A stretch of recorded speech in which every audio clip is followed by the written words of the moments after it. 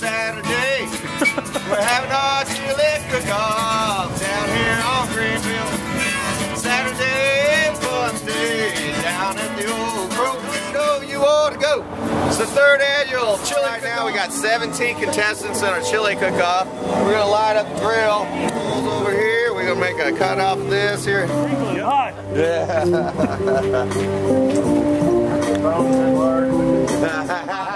brats over here just for good old fashioned sakes. Hey, doing really well.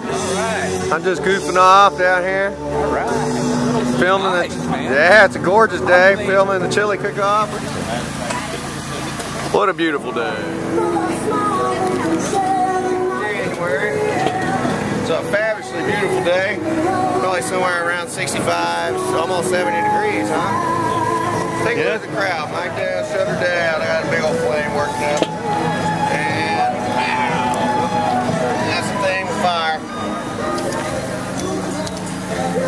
Moving on. yeah. oh, third annual chili cook-off. We got a record crowd out here. A nice day today. There's Mikey doing our tasting. Good here. Check this out. Heck yeah. Get yourself a hot dog bun and whatnot over there.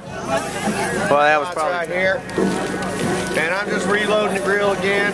We're just about to go and uh, goof off out front before the sunlight goes down. You can enjoy being with our dysfunctional family. New England, and I got a couple of friends in New York. I'm on Facebook this too.